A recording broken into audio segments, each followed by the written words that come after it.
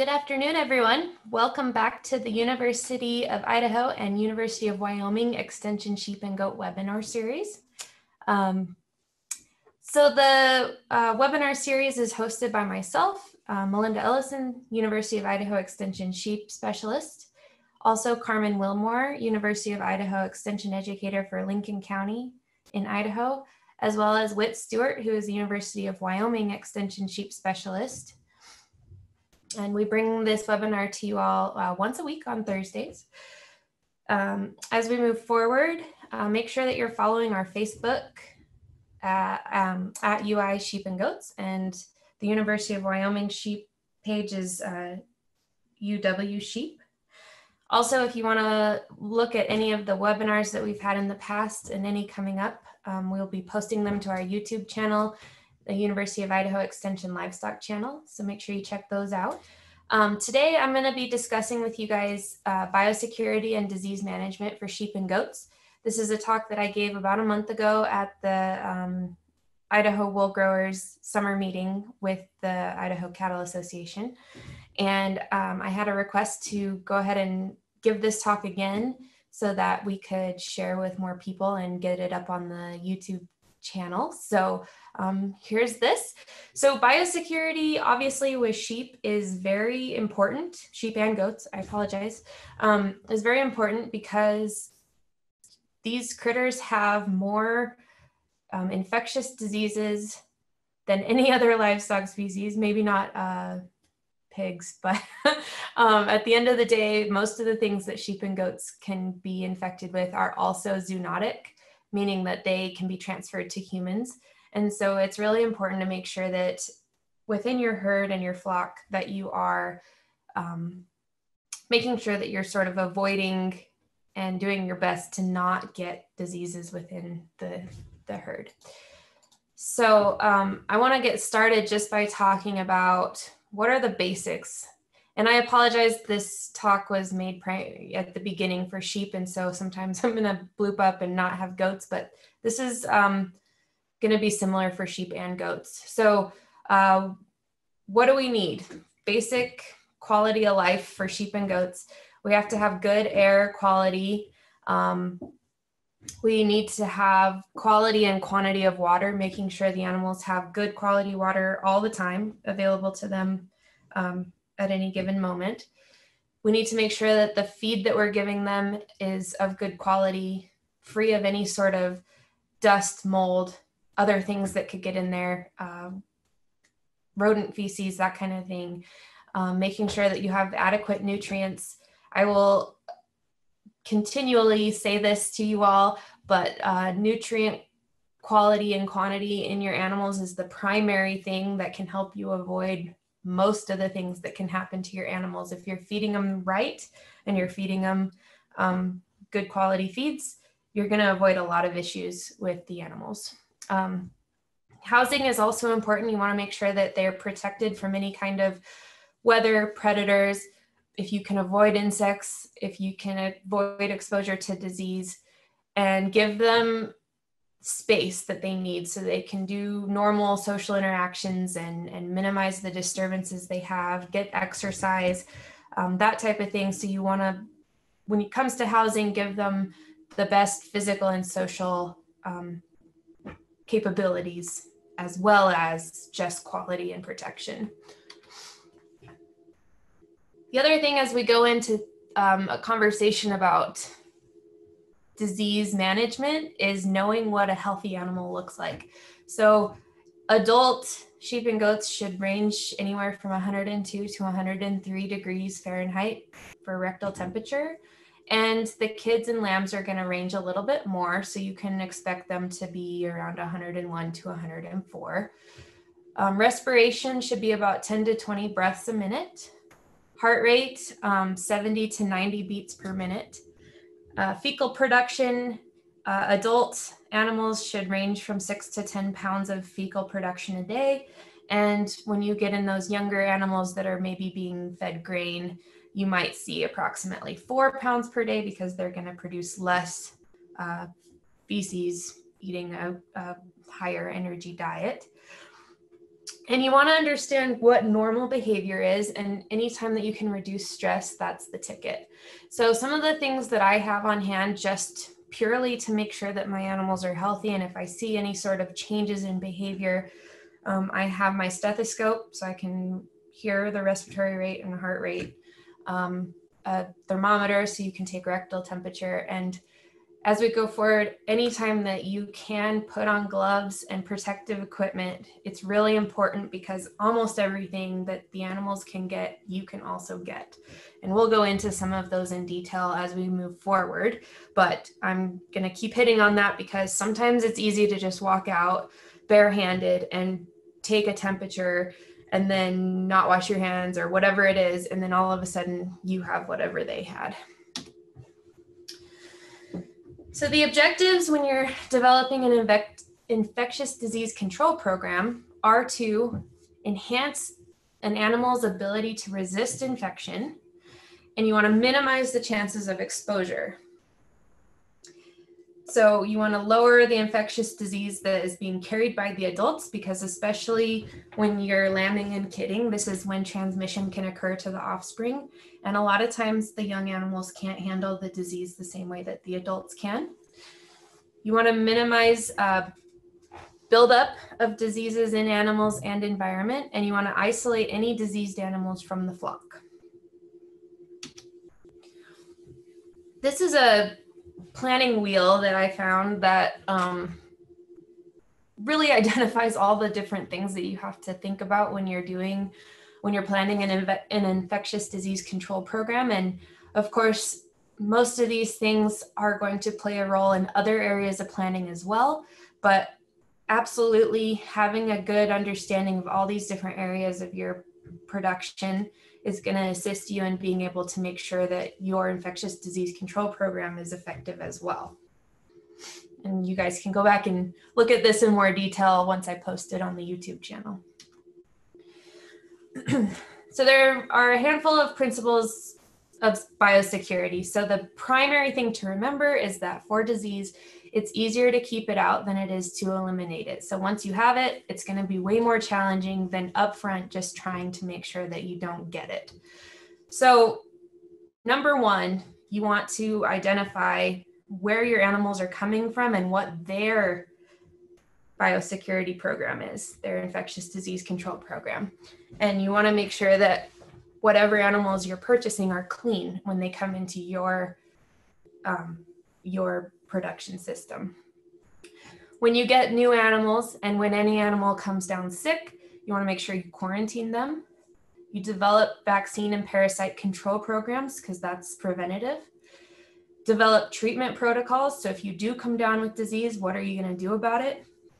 Develop a culling, carcass disposal, and necropsy protocol, which we'll get into. You have to have also a disinfection and sterilization protocol because the equipment that you use is uh, one of the primary um, ways that disease and infection get into your into your herd. You want to evaluate your nutritional requirements across all the different life stages and adjust your feeding um, to each of those different stages throughout the year and across years. You want to minimize stress on the animals as much as possible. And of course, at the end of the day, keep records. That's really important for remembering what has happened, being able to identify what the problem is when it occurs, treatment records, etc. And we'll get more into that as well. So one of the things I recommend when you're um, working on some of these protocols that you might uh, have in your in your system is that you develop a veterinary client patient relationship. And i know that that's hard in a lot of areas. Um, small ruminant vets are not common and most vets don't like working on small ruminants. And so i understand that it's a challenge. But if you can develop that relationship with your veterinarian it's going to help immensely when it comes to all of these things. Um, so in Idaho, and it changes from state to state, that that veterinary client patient relationship means that your vet has to visit your farm every 12 months. And that relationship that you develop with your vet will allow you to be able to potentially get offsite prescriptions. Maybe your vet will take a text or a phone call to help you identify some problems rather than having to come to your farm. Um, they can assist you with testing, etc. All of these things are things that the vet will do for you if you have that relationship. If you don't have that relationship, you can pretty much count on none of those things being available to you. They can also help you develop the different types of protocols and programs within your herd. So, developing that infectious disease control program, helping you with your herd health protocols, helping you with your nutrition and management plans. Um, there's obviously other people out there that can help you with all these things, but it's it's really important to have your vet be a part of it. Additionally, you guys have all heard about the veterinary feed directive, where uh, many of the antimicrobials are um, ha- they have to be prescribed from a licensed veterinarian and as we go th- into the next couple of years they're going to be adding more to that list and so things that right now are easy to get uh, tetracycline and penicillin are going to be part of that vfd list. And so just your simple penicillin you're going to have to have that relationship with your vet to get. And so i would recommend starting to work on that relationship now. And it never hurts to have somebody um, with a medical degree take a look at your animals every now and again because there's things that you may miss that they might catch. So um, just a little bit of a soapbox there, but it's really important even if they're not small ruminant specialty vets. So as far as sourcing animals, when you go to purchase animals, there's a couple of options um, that you can usually find. So one would be a closed flock, meaning that no outside animals have come into that flock in three or more years. A high health flock means that they have that infectious disease um, control program in effect in their flock or herd, and they uh, monitor for diseases regularly. They have records, they have um, testing that's been done. And so you can be pretty confident in receiving those animals or you can get them from a high risk flock, which I would say is primarily what I see in Idaho. Um, not, I mean, not to talk down on anybody, but it's just one of those things that a lot of people don't think about. And so um, it's really important to ask for proof of testing if you're um, wanting to make sure that you're not bringing diseases into your into your um, herd by just purchasing other animals.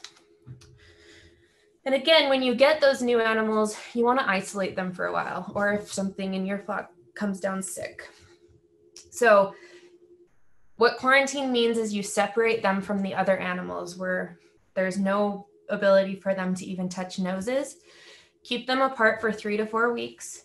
This is the time period when you can treat any illness that you see, get the testing done that you might want to get done that you may have not asked for when you brought new animals into your uh, system. You can vaccinate them at this time, give them some dewormer. Um, most protocols for dewormers is treat and then wait four to six weeks and treat again.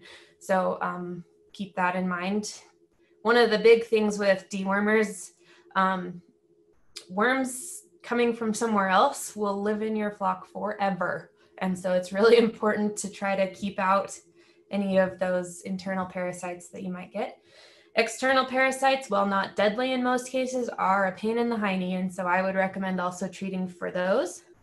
You want to trim their feet if needed and inspect for any sort of disease in their feet. Maybe a foot bath is appropriate during this time period. Um, and you also want to be aware of all the possible contaminants as you're moving between your herd, your quarantine herd, your sick animals, etc. All of the things that can be sharing disease include feed, water, salt and mineral, bedding. It can live in the soil in a lot of cases, your fence rails. If you're walking out there with your boots on or you have um, a pair of coveralls that you wear, your trailer, if you're shearing the sheep, um, anytime that you use other equipment, health uh, health-wise, esophageal tubes, syringes, etc., make sure you're not sharing those across animals. And, and as we go through, we're going to talk about disinfecting and sterilizing. So make sure that you do that on everything that is reasonable as well. A vaccination protocol is really important because there's a lot of things that can be infectious in sheep and goats that can be vaccinated for. And so, especially if you have that um, type of thing in your herd already, or if you're trying to avoid getting something the neighbor has or whatever it is, this is where you set up a vaccination protocol. You want to use vaccines regularly as labeled, and you want to make sure that you're storing them properly. So, one of the things that happens all the time is that your fridge out in the garage or out in the barn may not maintain temperature like it should. And so your vaccines are no longer um, effective. And so you want to really make sure that those things are um, working properly. And so you're storing your vaccines the way that they should be. Most of the time with vaccines, the benefit outweighs the drawbacks. And so um, it's important to, to have that protocol. The biggest thing to think about though is if you have sheep that are sickly, skinny, not looking very good, vaccines are not effective if the animal is not healthy. So that's an important thing to notice as well. So um, I typically uh, recommend that all animals get some kind of a clostridial and tetanus vaccine, so CD&T or an eight-way regardless of where you are or what you have in your in your uh, herd, I would recommend at least hitting them with one or the other of those two. Um, and then it's going to be farm specific from there. So maybe um, you have foot rot prevalently in your flock, or maybe your neighbor does, or whatever it is that you want to protect your animals against. That's when you add those to your vaccination program. Um, you also want to develop a management plan that works hand in hand with your vaccine program. And so these are all things that you can work with your veterinarian or somebody like myself to make sure that you're doing what you need to do for your herd. Internal parasite control program, like I said, it's really important to um, at least be aware of what type of internal parasites you have in your area. Uh, it's very farm farm and area specific. So depending on the type of parasite is how you'll uh, develop that internal parasite control program. So one of the ways to understand what your internal parasites look like is through fecal testing. So that gives you um, an idea of what the actual parasite load is for your animals and what specific parasite it is. Um, you want to test before and after deworming so that you understand whether or not your dewormer is effective. And you want to provide a dewormer or an anthelmintic that is effective against at least 90% of the worms that are present in your animals, or else it's probably not worth it. Um,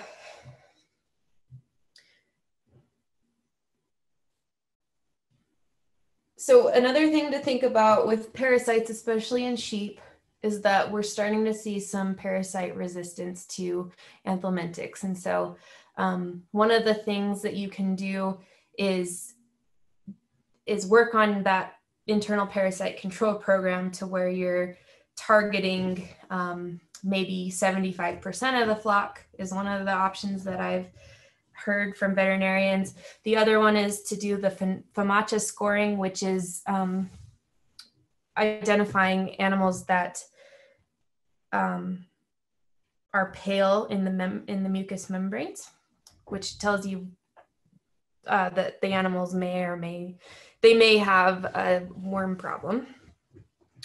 So you also want to, and we are actually later this summer going to be providing a FAMACHA scoring um, training. So if you guys are interested in that, make sure you stick with us for, uh, I think that's going to be in early September.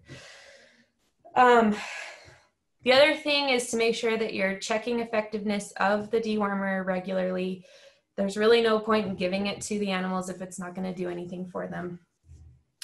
The other thing that you can do is grazing management. So um, the majority of internal parasites will live on the lower four inches of plants, grasses. So if you can leave at least four inches or maybe more at the end of grazing and rest the pasture for four to six weeks, um, you'll hopefully be able to cycle out. That's the, the length of the cycle of the worms. And so you can um, hopefully come back to a clean pasture when you come back. And the other alternative is to um, co-species graze. And so, for example, if you graze cattle first, they pick up some of the parasites that your sheep and goats may pick up. Um, and then that would leave your sheep and goats to graze some of the uh, forbs and, and weedier species that your cattle won't eat. Um, and the other thing is, is if you have animals that never need dewormed, they always score well uh, with the FAMACHA. They, in their fecal test, don't ever have a parasite load. Those are the animals that you want to keep in your herd um, as you move forward into breeding.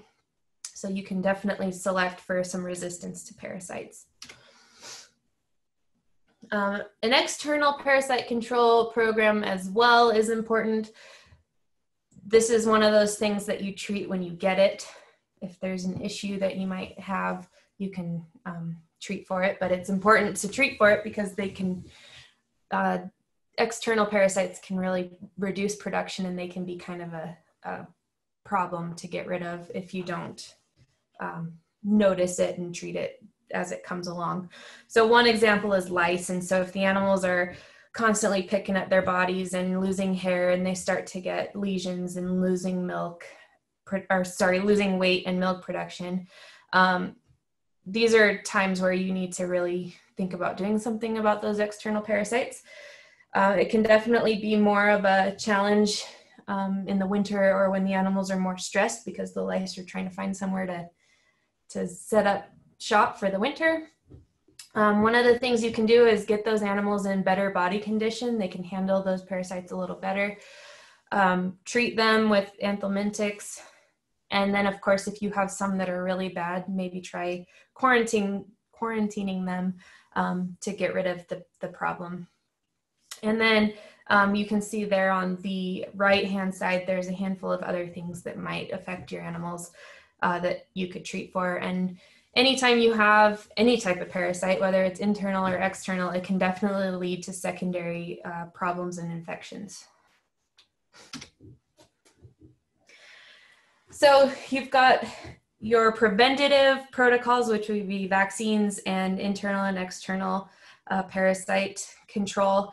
Um, but you also want to have a treatment protocol um, as part of your infectious disease control uh, program.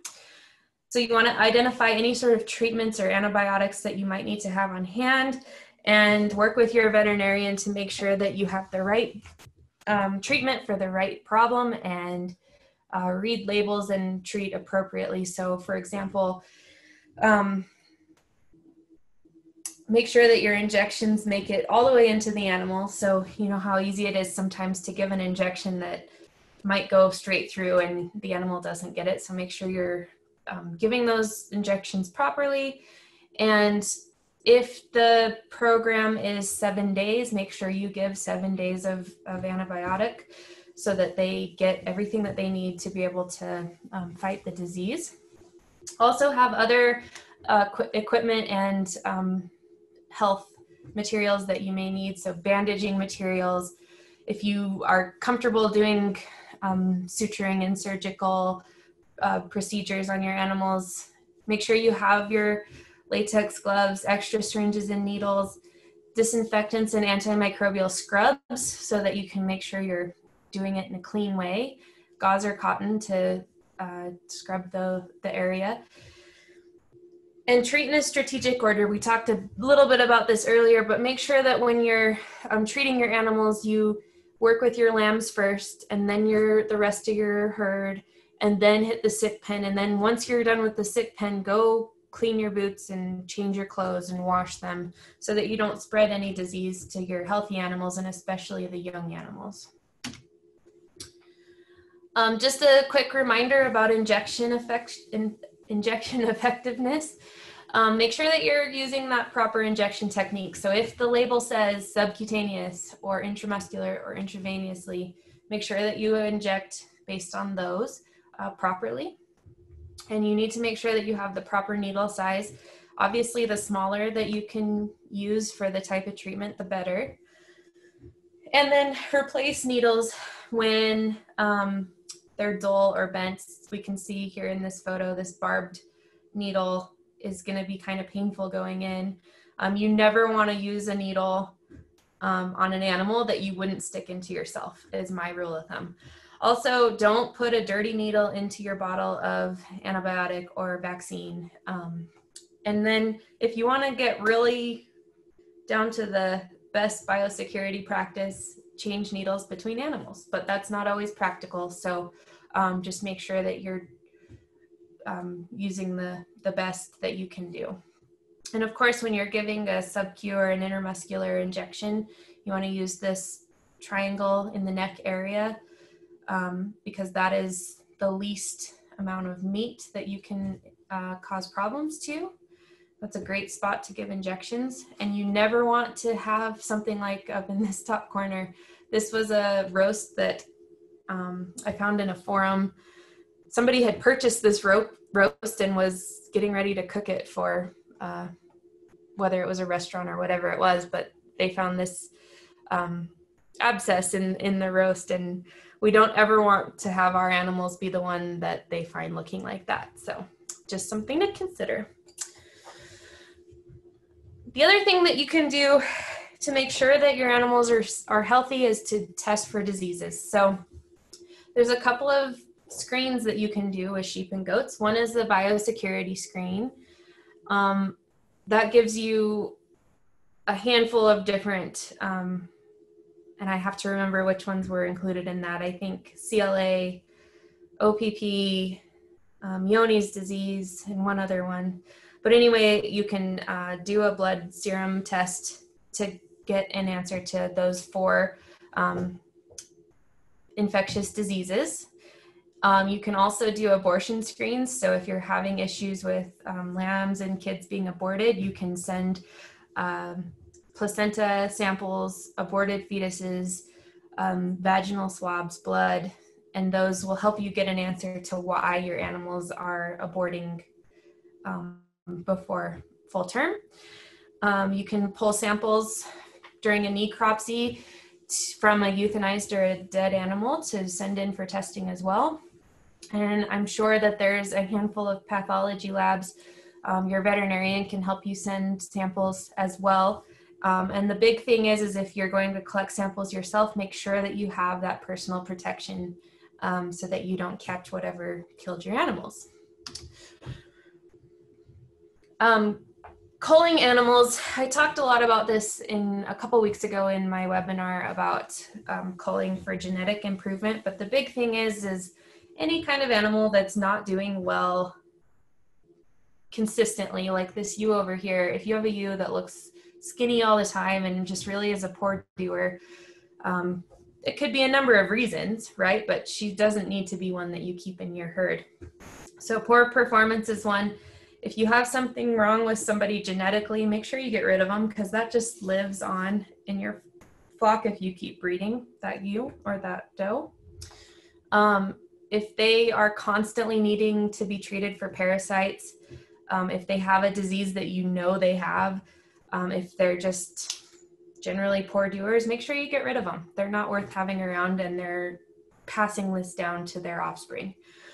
Um, and you want to make sure that you dispose of all the dead animals that you have by state laws and also with biosecurity in mind. So if you have animals that are dying of some kind of infectious disease, don't just put them in a dead pile where your other animals can um, find them. So bury, burn, take them to the dump, whatever it may be um, but make sure you dispose of those animals correctly. as far as uh, necropsy, this is a great way to identify why an animal um, obviously died, um, but it gives you a, a, chance to find out if there's anything infectious that you need to worry about. And usually it costs less to have a necropsy done than it is the loss of several or even one more animal. So to me, it's worth it, especially if you have something suspicious happen. Um, so if you have animals dying of an infectious disease, this is um, pretty critical in being able to manage and treat um, any sort of disease that may be going through your herd. And a lot of times there are um, diseases, as we go through the diseases, you'll see that there are a lot of them you don't know by just looking at the animal. Um, so once they're dead, having that necropsy done is important.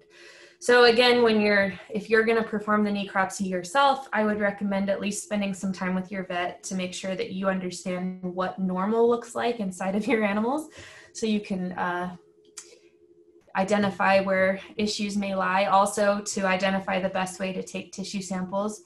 Um, and I think if you're working closely with your vet, that will help you um, be able to identify these things and send samples for testing. So another really important piece of biosecurity is disinfection and sterilization. So make sure that every piece of equipment that you ever use on any animal, that you're um, making sure that you wash it up and get it nice and clean before you use it. Um, after you use it as well, but especially before you use it. So um, for example, one that might get overlooked at times is hoof trimmers and shears.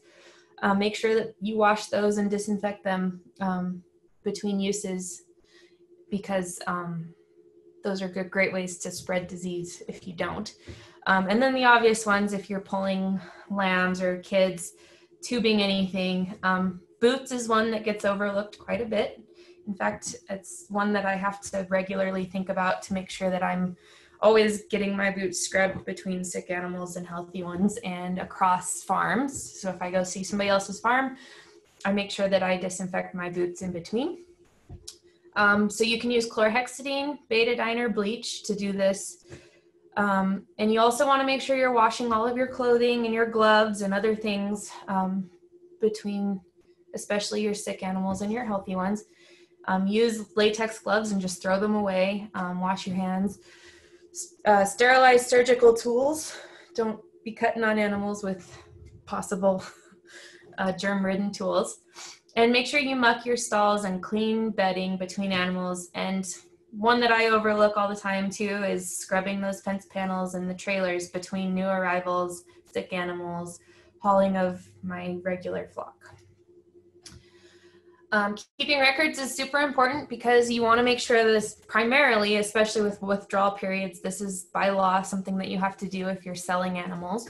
So if you uh, give any of your animals vaccines, treatments of any kind, anthelmintics, make sure that you're writing down the date that you administered it and which animals got it so that if you go to sell an animal, you make sure that you have that withdrawal period taken care of before slaughter, especially. Um, keeping track of any disease testing that you've done or necropsy records is really important, especially if you're coming down with something consistently, it'll help you understand when it started, what you've done to prevent it, your management, um, that type of thing. Record where you get new animals from so that you can go back to them if something happens and make sure that they um, either know that that's happening to animals that you purchased from them or or find out any information they have keep track of any animal death and causes necropsy results test results. Fetal losses are really important. Don't just discount um, a late term abortion. Make sure that you understand why it happened. Reproductive import- performance is also important to take note of because if your animals are just not breeding up very well, you could have something else going on. And keep track of what you've been feeding your animals. Um, these all tie into making sure that you're doing the best you can and having a really good um, infectious disease control program, among other pieces of production. So again, I'm gonna hit on nutrition. Nutrition is hugely important to disease. Most diseases are related to nutrition. And if your animal is in poor body condition, they're not going to be able to survive or fight the disease nearly as well as, you know, this top picture heavy, well conditioned animal versus the skinny poor doer. Obviously, this girl is going to do much better than this one when she's exposed to disease. So, this is really important, and I hope you guys, as I continue to constantly tell you about it, that you will think about the different life stages that your animals are in throughout the year and make sure that you're meeting all of their nutritional needs because that's going to really affect your bottom line, your production, and your health status of your animals. So um, I'm happy to work with all of you individually if that's what it takes. Just go ahead and reach out to me and we'll make sure that your animals are getting fed the way they need to. But we just want to give them the best chance that they can to fight disease um, and, and not have that secondary infection risk and passing down to their offspring and, and all of that. And again, we'll go back to the stress. Um, make sure that you have your vaccine vaccination protocols linked up with where you may have stressful events. And so, for example, lambing and kidding is stressful, weaning is stressful.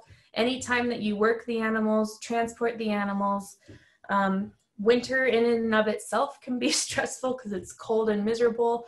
So just make sure you're linking up all of these things with different types of life events that are happening. Make sure you're providing them the best lifestyle that you can air, water, feed, and housing. Um, and that's going to help a lot with disease management as well. So going back to the boots, this is again where people, and including myself, I'm guilty of this time and time again. But if you're going to go see the neighbor and help them work their animals, have a different pair of boots. Make sure you're scrubbing them down with um, betadine or bleach or whatever it is. And the biggest thing with those is if you apply um, any sort of disinfectant, let it kind of suds up and sit because the longer the time that it's in contact with the bacteria or their microbials, um, the better. So let them suds up and sit for five or 10 minutes and then scrub them off. Um, but you really want to be careful about tracking your problems to the neighbor and your neighbor's problems back to yourself. Think about getting in and out of your vehicle. Um, if you get in with boots from the neighbor's house, you put it on your floorboard, and then every time you get into your truck, you're going to have access to that again on your boots, right? Um, the other thing is something that's really something I don't think about a lot either is take a different pair of boots to town because every rancher in the whole area goes into that feed store with boots from their production system, right? And so it's just something to think about. It's really easy to pick up um, nasty things that spread and and as you know, if the sheep and goats can spread their diseases to us, we can also spread our diseases to them. And so even just going to town at the grocery store, you could pick up something that you'll give your animals, and that's um, never fun. So, so um, I'm going to finish up our conversation here with some discussion about the different types of infectious diseases that we see in sheep and goats. But I want to make a disclaimer at the beginning. I'm not a veterinarian, so I don't have all the answers to these. And when in doubt, make sure that you have that veterinarian um, relationship that you can call them have them out, have them help you with your disease control program.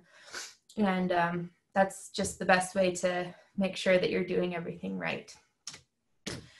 So the first one that I'll talk about, and I should probably just point out here on the top right, I have a box that says biosecurity, which means do I need to worry about all the things we just talked about? Um, making sure that um, you address all the different biosecurity. And most of them that I'm going to talk about will be checked yes.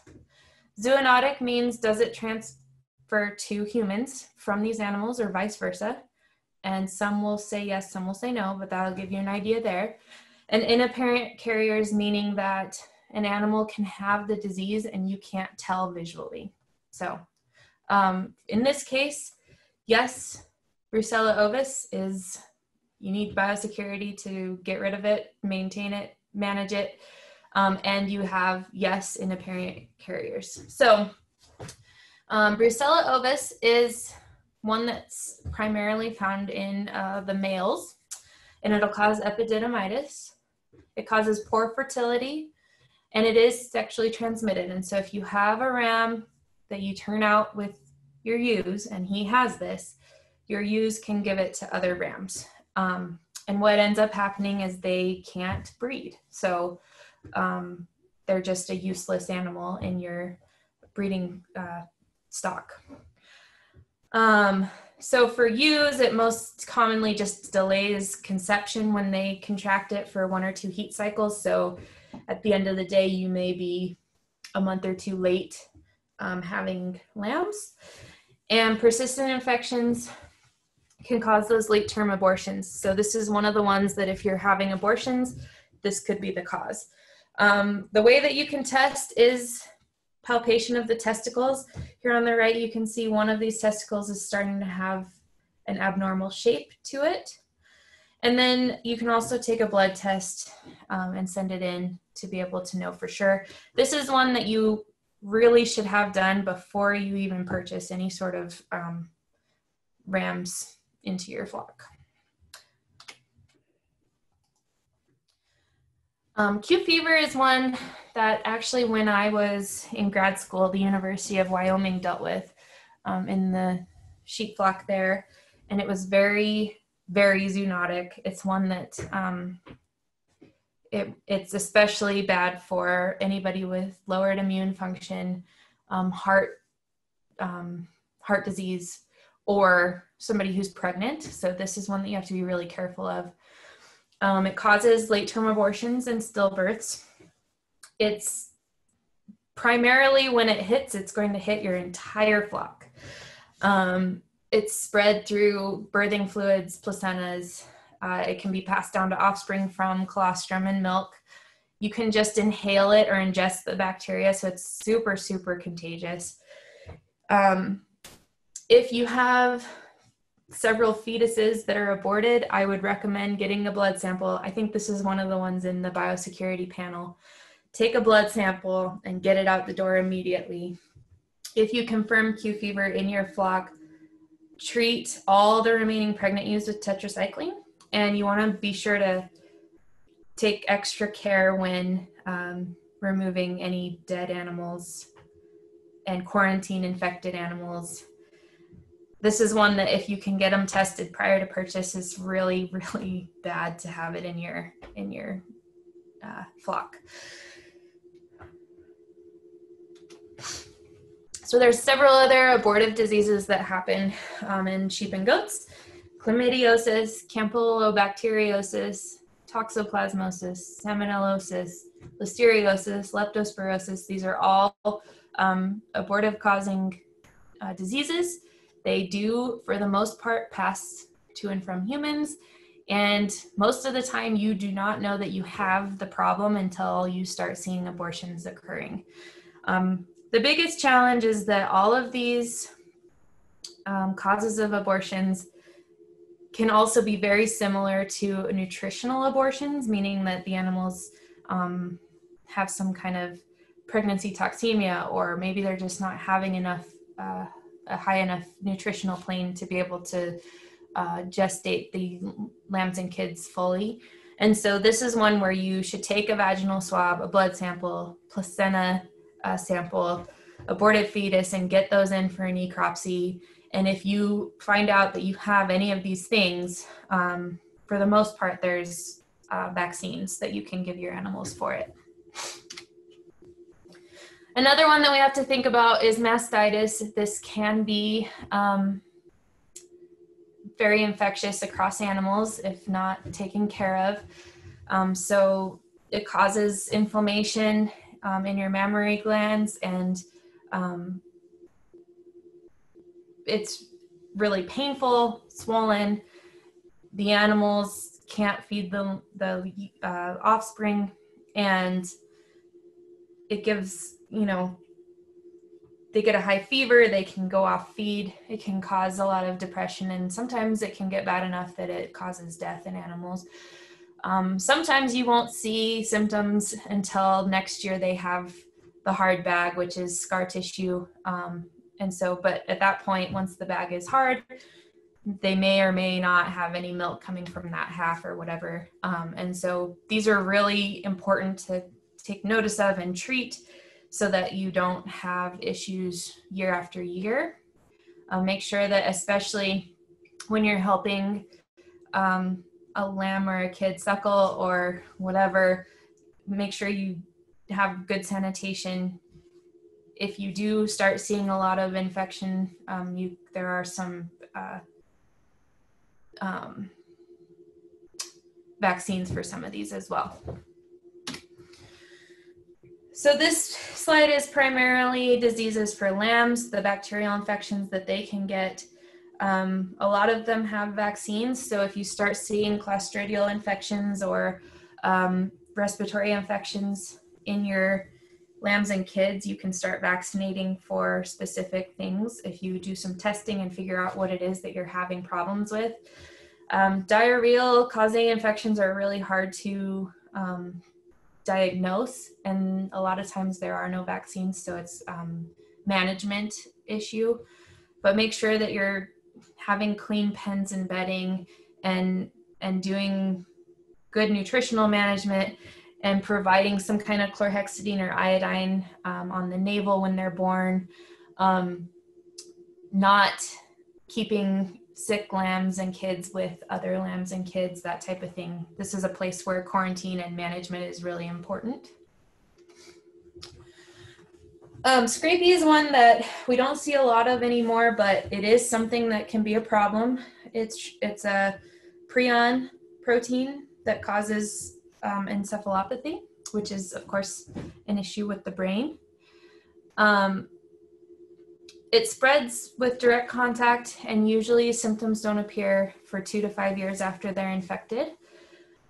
Um, it's very slow progressing, and it's deterioration of central nervous system, and it causes all kinds of weird stuff: tremors, uncoordination, head pressing, stargazing, weight loss, um, issues with biting at the wool, um, scratching, uh, and usually within a few months, it's caused the animal to die. So you want to make sure that when you're purchasing animals, you purchase from sources that are five or more years clean, or they're part of the voluntary Scrapie Flock certification program. Johne's disease is another one that I think is included in the panel if you were to do a biosecurity panel on your sheep. Um, it's an intestinal disease that's chronic and it's slow to develop. So of course you start to see animals just looking poorly. Their skin is kind of flaky and they get a little bit loose in the stool. Um, it's often by the time you identify the issue, it's widespread throughout the whole herd and it transfers through feces and milk um, and possibly um, in the fetus itself. So in this case, you can do a fecal smear and a blood test. And most of the time, people recommend that you do both so that you don't have any um, uh, false positives or false negatives. Caseous lymphadenitis, or CLA is what most people know it by. Um, this is when you have those enlarged lymph nodes and abscesses throughout the body. So Goats are the ones that you'll see a lot of abscesses on the outside of the body. Sheep, um, a lot of times may only have internal lesions, so you don't see it until it's until the animal has died. This is where having um, necropsy on dead animals can be really important to identifying the problem. This one does have a vaccine available, and if you start vaccinating your young animals that maybe haven't been exposed yet, and you and you cull animals that have visual um, abscesses on their bodies, you can usually be able to move through the problem pretty within a few years. Um, so you can test the abscess contents or do a blood test to identify whether or not your animals have this one. Ovine progressive pneumonia, or OPP, which is primarily found in sheep, is a slowly progressing uh, retroviral disease. Usually the animals are two to four years old when you start to see symptoms, but all kinds of random things can happen with this one. Um, the only way that you can tell if they have OPP specifically is through blood testing. Um, but there's no treatment, so you have to uh, work with this disease through culling and management. So the similar one that's found in goats is the Caprine arthritis encephalitis virus or CAEV. So this one's transmitted through colostrum or through blood.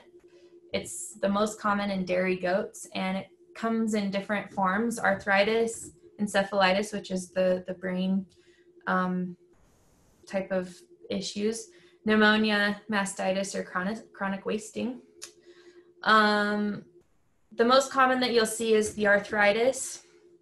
So it's usually the adult animals and kids that are more than six months years old, and they start to kind of get lame and stiff. They don't want to move normally, swollen joints.